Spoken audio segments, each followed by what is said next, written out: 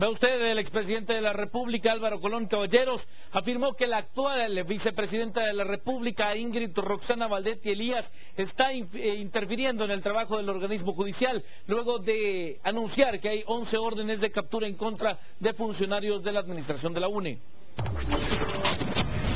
El expresidente de la Nación, Álvaro Colón, afirmó que la vicepresidenta Roxana Valdetti estaba interfiriendo en el organismo judicial al afirmar que hay 11 órdenes de captura contra exfuncionarios de la UNE que no se ejecutan.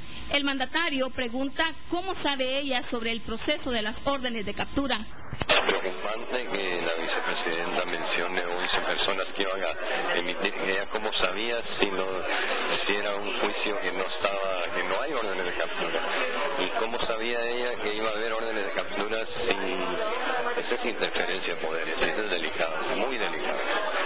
Creo que si es tal y como salió en los medios, eh, eh, ahí tiene que accionar el partido. Yo estoy totalmente alejado de todo eso, que yo sepa, no ha habido órdenes de captura, que yo sepa, eh, los juicios que hay son los que han salido en prensa, no hay nada mundo, y creo que sí fue una aceleración demasiado temeraria y demasiado eh,